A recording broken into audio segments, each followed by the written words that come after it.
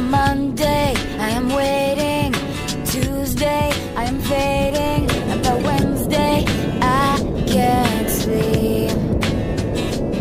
Then the phone